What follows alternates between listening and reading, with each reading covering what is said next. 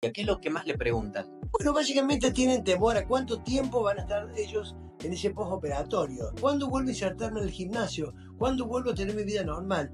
Hoy por hoy, en la medida que el paciente se prepare bien y evolucione bien, en una semana el paciente está bien.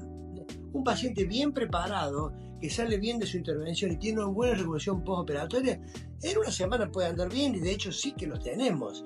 Pero a veces hay pacientes que no llegan bien preparados, llegan apurados, a veces pacientes que este, llegan y se tienen que volver en el avión rápido. Es conveniente hacer un tiempo de kinesiología para que rápidamente el paciente se inserte a su paz laboral. Claro. Y a, partir de una semana, ¿cuáles son las cosas que puede volver a reinsertarse, a reinsertarse lentamente? Pues básicamente el paciente deambular por su domicilio, trabajar con su computadora. No es bueno que maneje, pero puede ser trasladado hasta su trabajo, está con una computadora trabajando. Ese tipo de actividades puede hacer. Gimnasio en la primera semana no.